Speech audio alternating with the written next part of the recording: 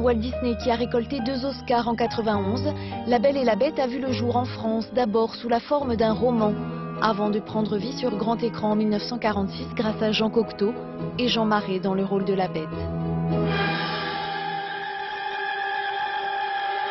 Et là, voyez mes roses, qui sont ce que j'aime le mieux au monde?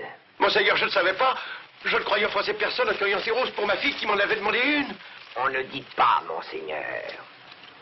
On dit la bête. La Belle et la Bête, c'est un vieux rêve d'enfance. Il le rêvait depuis longtemps euh, de le porter à la scène ou de- d'en faire des dessins.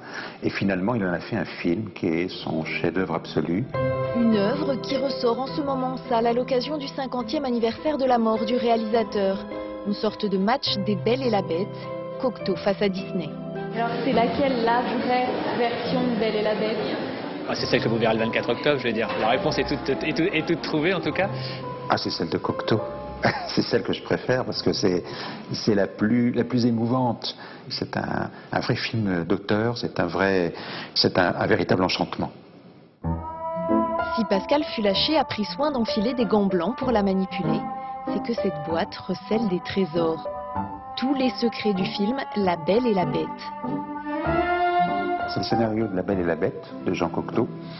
C'est donc son tout premier jet. hein. Sur la colonne de gauche, vous avez donc euh, euh, le découpage des différentes scènes, et puis vous avez les dialogues sur la colonne de droite. Le scénario original, mais aussi un album photo ou encore le journal de bord que Cocteau tenait quotidiennement. Des pièces inédites qui seront exposées au musée des lettres et des manuscrits à partir du 11 octobre et qui dévoilent notamment les trucages utilisés à l'époque.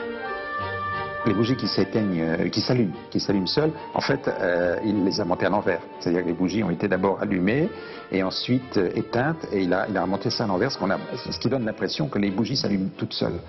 Il y a les cariatides vivantes aussi. Les cariatides vivantes, les, bras torchères, c'est prodigieux.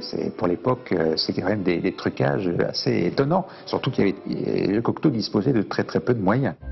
Cocteau a su faire preuve d'imagination pour les effets spéciaux, s'agissant de l'histoire,